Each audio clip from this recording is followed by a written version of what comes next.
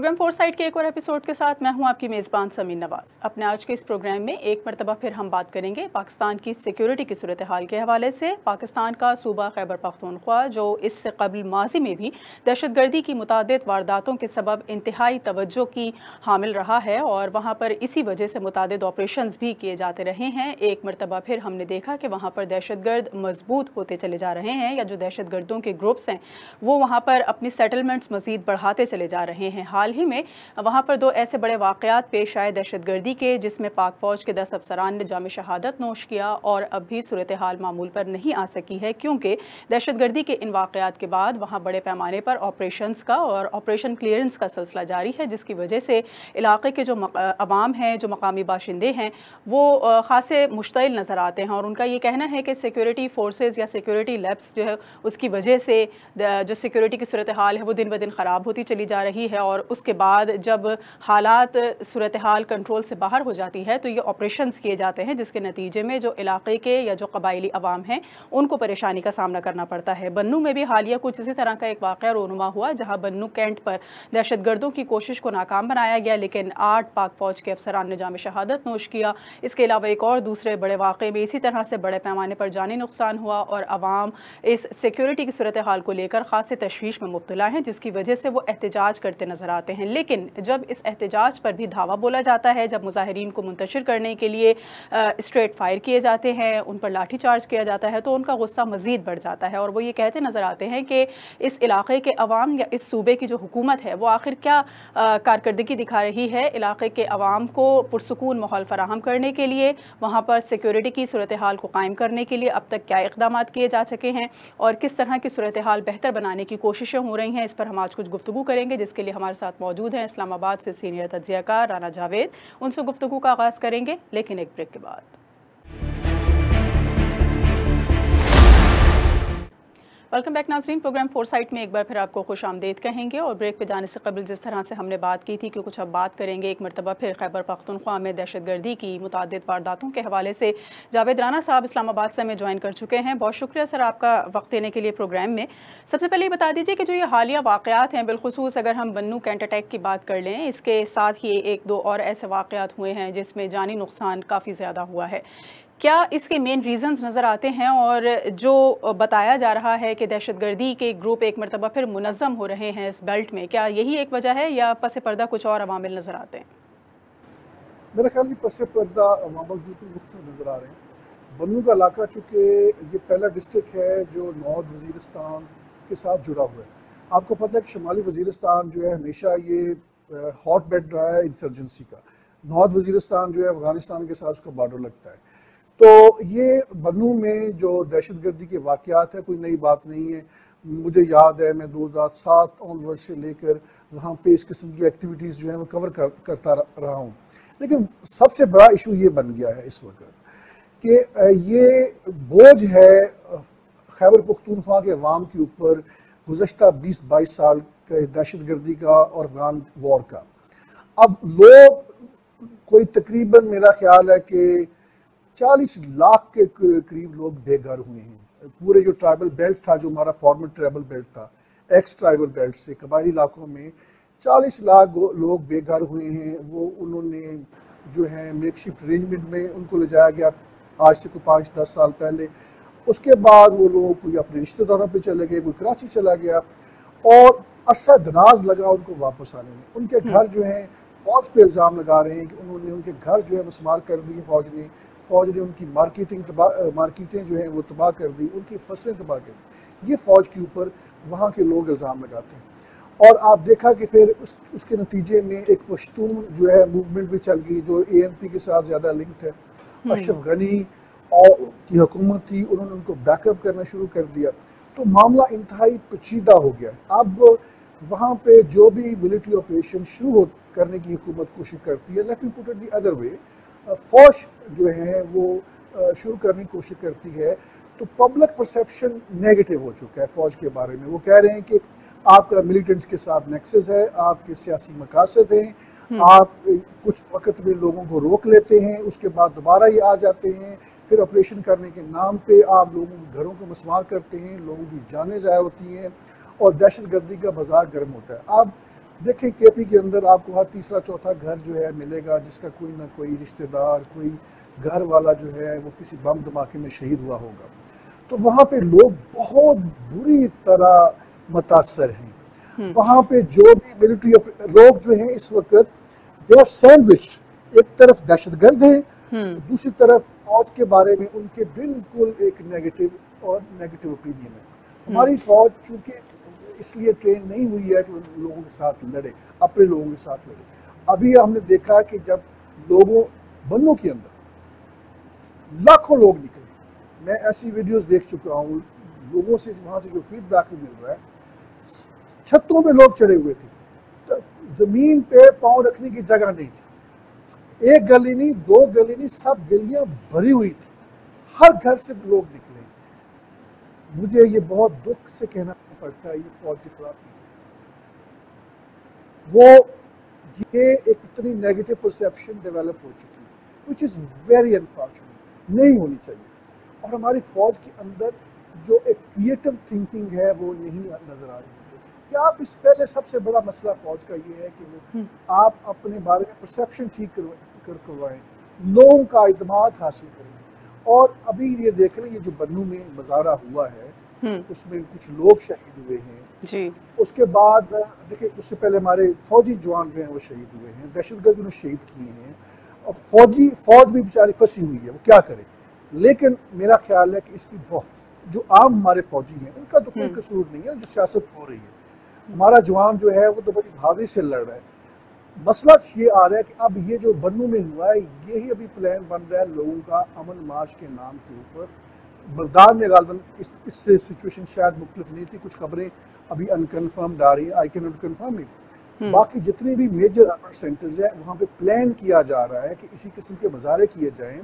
اور جو سیاسی حکومت ہے کے پی میں وہ ظاہر ہے وہ تو خاموش رہیں گے یا ان کا ٹلٹ عوام کی طرف آئے گا۔ ان کی جو سٹرینتھ ہے وہ تو عوام ہے فوج کے ساتھ صحیح. لیکن جاوید صاحب جس طرح پی ٹی آئی اس وقت میرے ہمیں خیبر پختونخوا میں وزیر اعلیٰ نظر آ رہا ہے امین گنڈا صاحب موجود ہیں۔ لیکن کوئی باضابطہ یا کوئی واضح جو رد عمل ایک ہونا چاہیے اس صورتحال میں اس طرح کا ہمیں کوئی ریئیکشن نظر نہیں آتا سرکاری سطح پر۔ تو کیا صوبے کی جو حکومت ہے وہ خود کو اس تمام تر معاملے سے تعلق رکھنا چاہتی ہے؟ صوبائی حکومت کا مسئلہ یہ ہے کہ وہ فوج کے ساتھ اچھے تعلقات چاہتی ہے جو چیف منسٹر ہے۔ اب جب جیل میں ملاقات کرنے کے لیے عمران خان سے جاتے ہیں تو عمران خان کو کہتا ہے کہ بھائی ٹف لائن لیں، میں تو جیل میں بیٹھا ہوں۔ تم لوگ جو ہیں، ساری سہولتیں جو ہیں اویل کر رہے ہو۔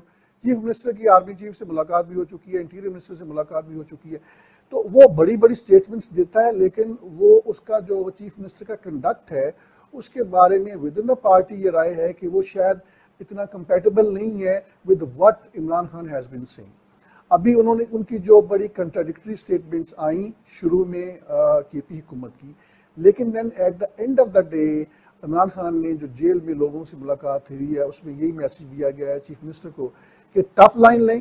اور اس کے بعد کے پی حکومت نے کہا کہ ہم جوڈیشل کمیشن فارم کریں گے ڈٹرمن کریں گے اس کی وجوہات کیا ہے۔ کیا کے پی میں کیا عام لوگوں کے اندر چھپ کے دہشت گردوں نے حملہ کیا ہے فوج کے کنٹونمنٹ کے اوپر اور فوج کو ریٹیلیٹ کرنا پڑا؟ کیا فیکٹرز تھے دیکھیں، ہم بہت زیادہ اسپیکولیشن میں بھی جا رہے ہیں، لیکن ایک چیز جو ہمیں ریالٹی ہے، وہ ہمیں کہ پاکستان کی اوور آل صورتحال ہے، اس سے اس سے ہم اس کو ڈی لنک نہیں کر سکتے کہ پی ٹی آئی حکومت جو ہے، اس آپریشن کے خلاف ہے اور اس کی بہت کلیئر ریزنز ہیں۔ وہ کہتے ہیں کہ یہ at the end of the day دہشت گردی کے واقعات ہوں گے، بڑے بڑے واقعات ہوں گے۔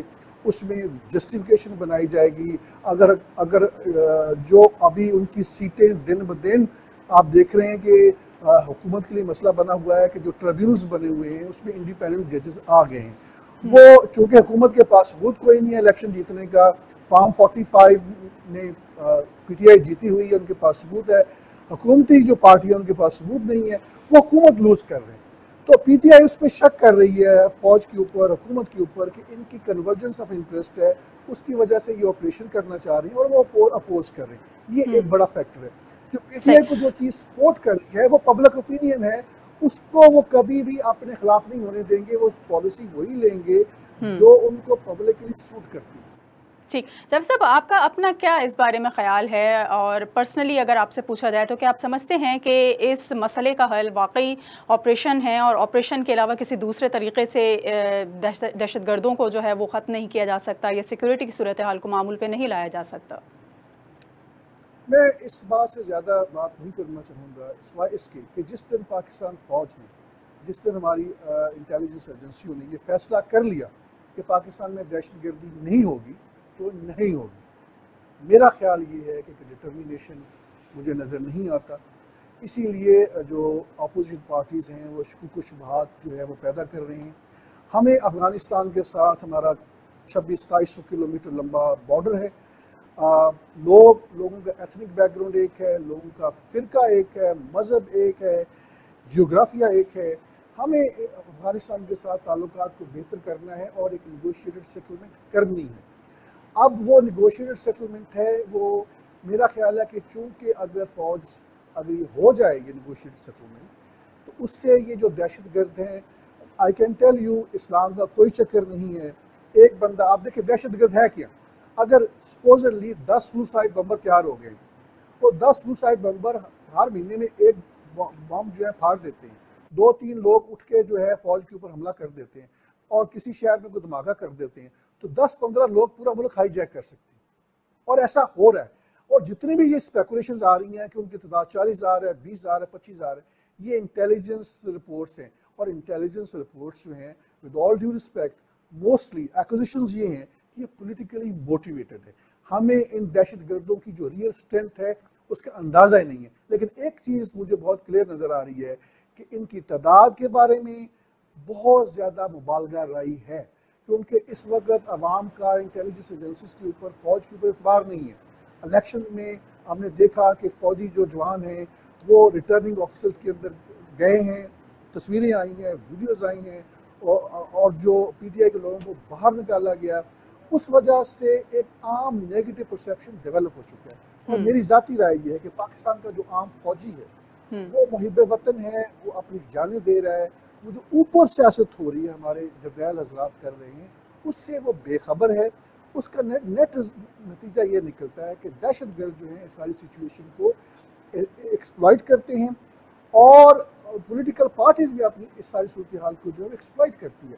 کیونکہ اس وقت پی ٹی آئی کی یہ ریکوائرمنٹ ہے کہ عوام ان کے ساتھ رہیں no matter at what cost صحیح، ایک بریک لیں گے جاوید صاحب، آپ بریک کے بعد واپس آؤں گی تو پھر یہیں سے آپ سے گفتگو کا سلسلہ دوبارہ شروع کروں گی، ہمارے ساتھ رہیے۔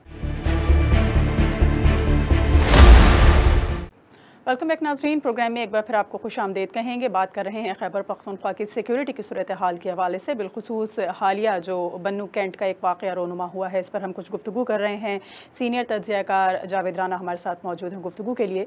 جاوید صاحب، اس تمام تر سینیریوں میں اب تک جو بیانات سامنے آئے ہیں حکومتی سطح پر، اور جس طرح سے ہر مرتبہ کی طرح اس مرتبہ بھی افغانستان کی سرزمین کو ذمہ دار قرار دیا جا رہا ہے کہ وہاں پر سیٹلڈ ہیں یہ تمام تر دہشت گرد، یا وہاں موجود گروپس پاکستان میں موجود دہشت گردوں کو سپورٹ کرتے ہیں۔ اس کے بغیر ایسی کاروائیاں ممکن نہیں ہیں۔ افغانستان حکومت کی طرف سے، طالبان کی طرف سے متعدد مرتبہ یقین دہانیوں کے باوجود ثبوت ملتے ہیں کہ یہ ٹریسز افغانستان تک جا رہے ہیں۔ کیا اس کا نتیجہ افغانستان نکال سکتا ہے اور وہ نہیں نکال پا رہا؟ دیکھیں، جو ٹی ٹی بی بنائی کیوں گئی؟ جو طریقے طالبان پاکستان وہ ہمارے اپنے انٹیلیجنس ایجنسیز نے بنوائی تھی۔ آج سے کوئی پندرہ بیس سال پہلے۔ اس وقت ہمیں بیہائنڈ دا سین جو ہماری پیرل پالیسی چل رہی تھی کہ ہم نے افغان طالبان کو سپورٹ کرنے ہیں کیونکہ یہاں پہ امریکہ آ کے بیٹھا ہوا ہے، نیٹو آ کے بیٹھا ہوا ہے، سب سے بڑھ کے ہندوستان آ کے بیٹھا ہوا ہے۔ ہندوستان دہشت گردی کروا رہا تھا بلوچستان کے اندر۔ اور کسی درجے میں کے پی کے اندر وہ فنڈنگ وغیرہ ساری کی ساری کر رہا تھا۔ تو وہ ہماری مجبوری تھی، ایک اسٹریٹجک پروجیکٹ تھا، جس کو میں ابھی بھی کہتا ہوں کہ وہ غلط نہیں تھا۔ لیکن اس ساری صورتحال کو ہم ہمارے ادارے ہینڈل نہیں کر سکے۔ جنرل مشرف نے اس کے اندر بہت زیادہ گند کیا، اس نے اپنی سیاسی مقاصد میں ان ساری چیزوں کو جو ہے نا مس ہینڈل کیا۔ اب یہ افغان طالبان جن کو ہم نے سپورٹ کرتے رہے ہیں، وہ ان کو شیلٹر اس لیے بھی دے رہے ہیں کہ وہ لوگ ان کے ساتھ لڑتے رہے ہیں لیکن مسئلہ یہ نہیں ہے، مسئلہ یہ ہے کہ یہ لوگ موسٹلی پاکستان کے اندر ہیں، جو دہشت گردی کرتے ہیں۔ یعنی ان کے چھوٹے چھوٹے سیلز ہیں، وہ چھپے ہوئے ہیں آبادیوں کے اندر۔ کسی کو کیا پتہ چلتا ہے؟ اتنا بڑا کوئی کوئی کم از کم تین چار من کی تعداد میں تو انہوں نے ایک بارود چھپا کے نہیں رکھنا، وہ گھروں میں چھپے ہوئے ہیں۔ تو میرا خیال ہے کہ اصل پرابلم یہ ہے کہ ہمارے لوگ اندر موجود ہیں۔ انٹیلیجنس ایجنسیز کو چاہیے کہ ایک انٹیلیجنس بیس آپریشن کریں، زیادہ اس میں they should not make hue and cry اور ٹارگٹ کریں ان لوگوں کو۔ اور اس کے بعد ایک پیرل پروسیس شروع کریں کہ نیگوشیشن کی جائیں، ان کے مسائل کیا ہیں؟ ان کے مسائل یہ ہیں کہ پاکستان اسلام نافذ کیا جائے۔ ان کے مسائل یہ ہیں کہ ہمارے بچے، ہمارے باپ دادا، ہمارے رشتہ دار، ان کو آپ رہا کریں۔ ہماری زمینیں واپس کریں، ہمارے یہ یہ مطالبات، چھوٹے چھوٹے مطالبات ہیں، یہ حکومت مان جائے گی۔ اب اگر یہ کہیں کہ جی ٹرائبل ایریا کو علیحدہ کر دیں دوبارہ، یہ ایکسیپٹیبل نہیں ہے پاکستان کے لیے قابل قبول نہیں ہے، پاکستان کے انٹرسٹ میں نہیں ہے۔ کیونکہ ہمارے لیے سب سے بڑا خطرہ اس وقت یہ بنا ہوا ہے کہ پی ٹی ایم جو ہے، میں ان کو محب وطن سمجھتا ہوں but at the same time ان کی جو سلوگنرنگ ہے، جو ان کی نعرہ بازی ہے، وہ کسی درجے میں جو افغانستان اور پاکستان کے درمیان بارڈرز ہے ختم کرنے کی طرف اشارہ کرتی ہے۔ اگر یہ صورتحال کو سنبھالا نہ گیا، تو لوگ کے پی کے اندر افغانستان جوائن کرنے کے بھی باتیں کرتے ہیں۔ میں یہ اپنے انٹریکشن کے اوپر بنیاد پہ بات کروں۔ ایسی صورتحال ابھی ایگزسٹ نہیں کرتی۔ لیکن ہمیں اس سچویشن کو کنٹرول کرنا ہے۔ کنٹرول کرنے کا ایک ہی میکنزم ہے کہ جو بھی حکومت برسر اقتدار ہو، اس کی کریڈیبلٹی ہونی چاہیے۔ اگر ایک پارٹی جو ہے، اس کے باوجود کہ آپ نے اتنی میسر دھاندلی کی ہے، اس کی ٹو تھرڈ میجورٹی تھی، وہ سنگل لارجسٹ پولیٹیکل پارٹی جو ہے مرج ہو گئی ہے، بن گئی ہے، ان کو سپریم کورٹ نے نشستیں بھی جینولی واپس کی ہیں۔ آپ آئین کی تشریح غلط کر رہے ہیں ہیلے بہانے بنا رہے ہیں جس طرح آپ نے پروونشل اسمبلیز کے الیکشن نہیں کروائے تھے اسی طرح نشستیں نہیں دینا چاہ رہے۔ تو پہلے ہی کانسٹیٹیوشن بریک ڈاؤن ہو چکا ہے پاکستان کے اندر۔ آپ اس کو مزید کریں گے تو نیٹ رزلٹ یہ دیکھیں۔ اگر کسی کا یہ خیال ہے کہ یہاں پہ مارشل اللہ لگ جائے گا چیزیں سیدھی ہو جائیں گی۔ نہیں بھائی نہیں۔ مارشل اللہ لگے گا تو میرے خیال میں جو صورتحال پندرہ جولائی دو ہزار سولہ کو ٹرکی میں تھی شاید اس سے ملتی جلتی صورتحال۔ خاص طور پہ کے پی کے اندر ڈیولپ ہو جائے اور باقی علاقوں کی پاسبلٹی پنجاب میں بھی آپ اس کو رول آف نہیں کر سکتے، کراچی جیسے شہروں میں بھی آپ اس کو رول آف نہیں کر سکتے، وہاں پہ پی ٹی آئی کی پریزنس موجود ہے۔ ہم اس صورتحال کی طرف کیوں جا رہے ہیں؟ ماشاء اللہ اسی وقت لگتا ہے جب عوام کے اندر حکومت کے خلاف ایک ریزنٹمنٹ پائی جائی پائی جاتی ہو اور فوج اپوزیشن کے ساتھ مل جاتی ہے۔ وہ ساری صورتحال الٹ ہے۔ یہاں پہ جو ایسی پارٹی برسر اقتدار ہے جس کا عوام میں کوئی پذیرائی نہیں ہے ان پاپولر ہے اور اپوزیشن جو ہے وہ سٹرونگلی پاپولر ہے۔ ماشاء اللہ کی جو باتیں ہو رہی ہیں یہ تھریٹس ہیں یہ فیلرز ہیں۔ میرا نہیں خیال کہ ایسی کوئی بات ہوگی۔ Hopefully sanity would prevail کیونکہ اس کے لیے آپ کے پاس وہ گراؤنڈز ہی نہیں ہے ایکسپلائٹ کرنے کے۔ میرا خیال ہے کہ جو میں ایک بات اہم آپ کو بتاتا چلوں ایک پیرلر ریالٹی پاکستان کے اندر دو ہزار تیرہ کے الیکشن کی بات ہو رہی ہے کہ لوگ فوج کی الیکشن کے اندر مداخلت جو ہے اس کے خلاف سڑکوں پہ آ رہے ہیں مظاہرے ہو رہے ہیں اپوزیشن پارٹیز بھی آ رہی ہیں۔ اپوزیشن پارٹیز کے حق میں جب دھاندلی ہوتی ہے پی ٹی آئی کے حق میں دھاندلی ہوتی ہے تو وہ کوئی اعتراض نہیں ہے۔ نون لیگ کے حق میں جب دھاندلی ہوتی ہے ان کو کوئی اعتراض نہیں ہے۔ جب ان کے خلاف ہوتی ہے تو اعتراض ہے۔ تو اس لیے بہتر نہیں کہ فوج اپنے آپ کو اسٹیپ بیک کرے انٹیلیجنس ایجنسیز اپنے آپ کو اسٹیپ بیک کریں کہ ٹرانسپیرنٹ الیکشن کروائیں۔ یہ پولیٹیکل پارٹیز خود ہی ختم ہو جائیں گی کیونکہ transparency is the biggest tool کچھ نہیں ہوگا۔ تو کیا جاوید صاحب ابھی جس طرح کی یہ جو باتیں ہو رہی ہیں انتخابات دوبارہ کرانے کی کیا اس کی ایک بڑی وجہ یہی ہے کہ جو حکومت ہے جو اس وقت ایوانوں میں بیٹھے ہوئے لوگ ہیں ان کے ہاتھوں سے یہ تمام تر معاملات کنٹرول نہیں ہو پا رہے؟ ہیں دیکھیں کنٹرول نہیں ہو پا رہے، اکتوبر میں نیا چیف جسٹس آ رہا ہے، اس نے اگر موٹو ایکشن لے لیا الیکشن کی دھاندلی کے اوپر سٹریٹ اوے سٹریٹ اوے حکومت کے پاس کوئی ثبوت نہیں ہے کہ جو M N As M P As ان کی اسمبلیوں کے اندر ہیں، وہ جیتے ہوئے ہیں۔ شہباز شریف الیکشن ہارا ہوا ہے، ستارہ سیٹیں ہیں نون لیگ کی۔ مریم نواز الیکشن ہاری ہوئی ہے۔ تو آپ ان کے پاس وہ فارم نہیں ہے جس کے اوپر یہ سارا کچھ ہوا ہے۔ ہوا یہ کہ الیکشن کے پولنگ الیکشن کے ریزلٹس کا جو فارم ہے، ثبوت دے دیا ہے انہوں نے۔ اپوزیشن پارٹیز کو ان کے پاس ثبوت موجود ہیں کہ وہ جیتے ہوئے ہیں۔ الیکشن کمیشن نے ایک نوٹیفکیشن کر دیا ہے کہ نہیں، دوسرے لوگ جیتے ہوئے ہیں۔ اور نوٹیفکیشن جس کو فارم 47 کہہ رہے ہیں۔ تو اس لیے it is simply matter of time جب یہ حکومت دیکھے گی کہ اس کے ہاتھ پاؤں پھولتے جا رہے ہیں الیکشن ریزلٹس ان کے خلاف آتے جا رہے ہیں ٹریبیونلز فیصلہ کر رہے ہیں یا سپریم کورٹ تو مجھے خدشہ یہ ہے کہ یہ اسمبلیاں ڈیزالو کر دیں گے۔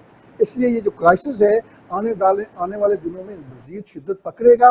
اور اس شدت کے نتیجے میں مجھے نہیں لگتا کہ اس سال کے بیونڈ یا maybe in early next year اس وقت تک یہ حکومت نہیں چل سکے اگر الیکشنز دوبارہ ہو جاتے ہیں تو کیا یہ تمام تر سچویشن آپ کو لگتا ہے کہ الیکشنز کے جو ماحول ہونے چاہیے اس کے حق میں جائے گی؟ کیونکہ ابھی ہم نے حال ہی میں انتخابات دیکھے تھے ایک طویل بجٹ اس تمام تر پروسیجر کے لیے چاہیے ہوتا ہے طویل تر کیمپین چل رہی ہوتی ہے۔ اتنی جلدی انتخابات کا انعقاد ممکن ہے؟ بالکل کوئی مشکل نہیں ہو سکتا ہے۔ الیکشن کمیشن اور باقی جو ممبرز ہیں، ان کو ریزائن کرنا چاہیے because they are hugely controversial اب وہ بالکل پارٹیسن ہیں اور نیا الیکشن کمیشن بنایا جائے اور نئے الیکشن ہو فوج بالکل پیچھے ہٹ جائے۔ جو جیتتا ہے، اس کو جیتنے دے، جو ہارتا ہے، ہارنے دے۔ کل عمران خان کو ختم کرنے کا پولیٹیکل یہ کی طریقہ ہے کہ آپ اس کو گورن کرنے دیں۔ اس کی گورننس کا ریکارڈ کوئی اتنا کوئی آئیڈیل نہیں ہے۔ لیکن جب آپ اس کو دبائیں گے، جیل میں ہیرو بنائیں گے، تو لوگ وکٹم ہوڈ کے اوپر اس کو جو ہے دیتے رہیں گے، ووٹ دیتے رہیں گے۔ آنے میں اس کو بار کیا کر لے گا عمران خان دو چار دن بڑے جلسے ہوں گے، آہستہ آہستہ اس کا جو جو ایک پولیٹیکل پروفائلنگ ہے، وہ ڈی مسٹیفائی ہوگی۔ وہ انسان ہے، کوئی سارے ساری چیزیں اس لیول پہ نہیں کر سکتا جو عوام اس سے ایکسپیکٹ کر رہے ہیں۔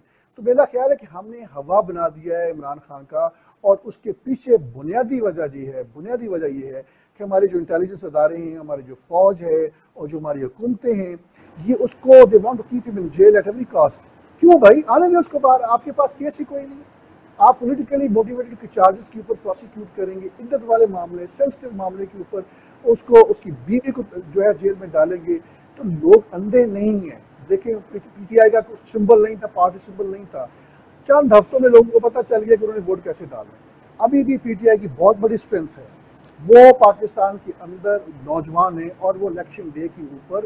اب کیا ہوگا؟ میں آپ کو بتا رہا ہوں۔ اگر اس اس دفعہ کوئی فوج انٹروینشن کرتی ہے پولنگ ڈے پہ انٹیلیجنس کرتی ہیں، تو کے پی کی طرح پنجاب میں بھی لوگ جو ہیں، وہ ویپنز لے کر آئیں گے۔ وہ ریٹرننگ آفس کے ارد گرد ہوں گے۔ مجھے خدشہ یہ ہے کہ عام کلیشز ہو جائیں گے۔ اس لیے اگر جب بھی الیکشن ہوتے ہیں، اس کو free and let that be free and fair کیا ہو جائے؟ کچھ نہیں ہوگا۔ عمران خان کیا ملک بیچ دے گا؟ اس کو سیاسی طور پہ ختم ہونے دیں۔ اگر وہ ہینڈل نہ کر سکا کرائسس کو، تو پولیٹیکلی ختم ہو جائے گا۔ اگر وہ کر گیا تو اس میں پاکستان کا بھلا ہے، سب کا بھلا ہے۔ تو میرا خیال ہے کہ سینٹی شوڈ پرویل یہ پورا کرائسس پولیٹیکل کرائسس جو ہے ود ان ڈیز ختم ہو سکتا ہے۔ لیکن ہم کرنا نہیں چاہتے۔ ہم چاہتے ہیں کہ دبایا جائے دبایا جائے۔ دبانے کے بعد ایک ایک پارٹی جس کی اتنی بڑی فالوئنگ ہے اس کو ختم کر دیا جائے۔ دوسری طرف عوام جو ہے کے پی کے اندر اس کا مسئلہ پی ٹی آئی سے زیادہ فوج ہے۔ ایک بہت تل حقیقت ہے کہ جو پچھلے الیکشن میں ووٹ ڈلا اتنا۔ وہ عمران خان کے ساتھ ساتھ فوج کے خلاف بھی ڈلا۔ یہ بہت تل حقیقت ہے۔ لوگوں کی جو فوج کے خلاف ریزنٹمنٹ ہے اس کے خلاف ڈلا۔ ہے آپ کو یاد ہے کہ نواز شریف الیکشن جیت رہا تھا۔ لیکن جاوید صاحب یہاں پہ ایک پوائنٹ میں اور آپ کے لیے دینا چاہوں گی کہ جو یہاں پر ایسی جماعتیں ہیں جو الیکشنز میں انتخابات میں کامیابی حاصل نہیں کر پاتی یہ بات تو ان کے لیے بھی کی جاتی ہے کہ چاہے وہ پی ٹی آئی ہو چاہے وہ جماعت اسلامی ہو یا دیگر ایسی کوئی جماعتیں ہوں جو کامیابی حاصل نہیں کر سکتی وہ بھی ایک بڑے گروپ کو یا ایک بڑی تعداد میں عوام کو اسٹیبلشمنٹ کے خلاف یا فوج کے خلاف استعمال کرنے کی کوشش کرتی ہیں اور یہی کچھ اس وقت خیبر پختونخوا میں ہو رہا ہے۔ دیکھیں، ایک ریالٹی بھی تو ہے نا کہ ہماری ہماری فوج میں، ماضی میں بھی اور ابھی بھی ایرونیکلی وہ پالیٹکس میں انوالو ہیں۔ وہ they are managing the things they are calling the shots behind the scene اور جو جو باتیں پچھلے ڈرائنگ رومز میں ہوتی تھیں، وہ اب سر عام ہو رہی ہیں۔ عمران خان، جنرل آسم منیر کا آرمی چیف کا نام لے کے، نام نام لے کے ایلیگیشنز لگا رہے ہیں۔ اور وہ چیزیں اگر پاکستان میں پرنٹ نہیں ہو رہی تو سوشل میڈیا پہ آ رہی آپ نے سوشل میڈیا آلموسٹ پورا بین کر دیا لیکن لوگ وی پی این سے اس کو ایکسیس کر رہے ہیں۔ انٹرنیشنل میڈیا میں آ رہا ہے۔ کوئی چیز چھپی ہوئی نہیں ہے۔ جو فوج نے یا آئی ایس آئی نے یا کسی اور ادارے نے کیا نیکسٹ اسٹیپ کیا ہوگا اس کو؟ It is a very much predictable for people and for the political parties میرا خیال ہے کہ سچویشن کو ایگراویٹ ہونے سے ہمیں بچانا چاہیے۔ ہمارے اداروں کو اسٹیپ بیک کرنا چاہیے۔ سیاست سے بالکل آپ پیچھے ہٹ جائیں۔ ان کو ان سیاستدانوں کو آپس میں لڑنے دیں۔ اور ان کے خلاف ایک سب سے بڑا ہتھیار جو ہمارے اداروں کو اسٹیٹ انسٹیٹیوشن کو استعمال کرنا چاہیے کہ دو الیکشن اس ملک میں ٹرانسپیرنٹ ہو جائیں۔ یہ پولیٹیکل پارٹیز کے اندر جو گند ہے یہ ختم ہو جائے گا۔ عوام بہت سینسیبل ہو چکے ہیں۔ یہ نائنٹیز والے لوگ نہیں ہیں۔ صحیح۔ ٹھیک، بہت شکریہ۔ جاوید صاحب ہمارے ساتھ موجود تھے اور ہم نے کچھ بات چیت کی، پاکستان میں سیکیورٹی کی موجودہ صورتحال کے ساتھ ساتھ انتخابات کے لیے جو ایک مرتبہ پھر آواز بلند ہوتی نظر آ رہی ہے اور متعدد جماعتوں اور ان کے رہنماؤں کا یہ دعویٰ ہے کہ صورتحال کو بہتر کرنے کے لیے، ملک میں امن و امان کو قائم کرنے کے لیے اور پولیٹیکلی اسٹیبلٹی کے لیے ضروری ہے کہ شفاف انتخابات جلد از جلد ممکن بنائے جا سکیں تاکہ عوام کا اشتعال بھی کم ہو سکے اور جو میرٹ پر انتخابات جیتا ہے وہ ملک میں حکومت بنا سکے۔ آج کے اس پروگرام کے لیے اتنا ہی۔ اگلے ہفتے ایک اور موضوع کے ساتھ حاضر ہوں گے، پروگرام ٹیم کے ساتھ سمی نواز کو اجازت دیجیے اللہ نگہبان